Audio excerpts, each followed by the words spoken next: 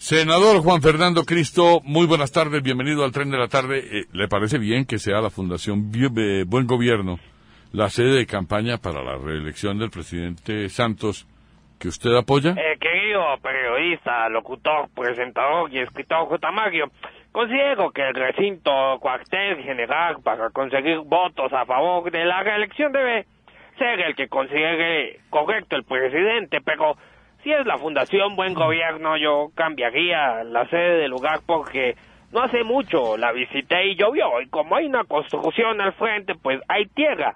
Entonces con la lluvia, cuando entré a la Fundación Buen Gobierno, vi que había mucho vago. Eh, señor Cristo, disculpe. ¿Cómo así que cuando entró a la Fundación Buen Gobierno vio mucho vago? ¿Acaso considera que allá no están trabajando lo suficiente o qué?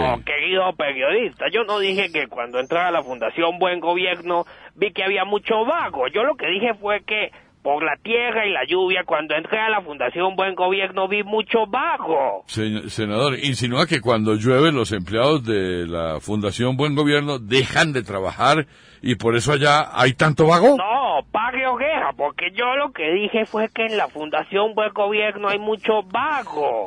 O sea, agua y tierra, pero en cambio yo nunca dije que en la Fundación Buen Gobierno hay mucho vago. Ah, ¿Ahora lo va a negar, senador?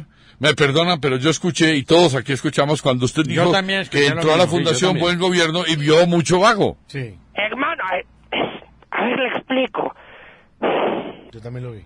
Es que es muy diferente decir que entré a la Fundación Buen Gobierno y vi mucho vago a decir que entré a la Fundación Buen Gobierno y vi mucho vago.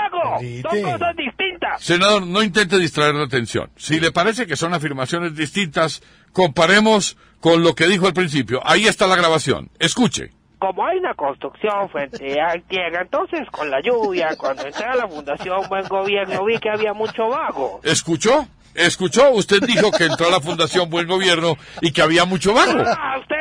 Ah, no respetan ni al presidente del Congreso. Hasta luego, paguíos. ¿Ves otro? No, no, no, ah, no, pero ya sí nos llegó el que nos trajo, pues.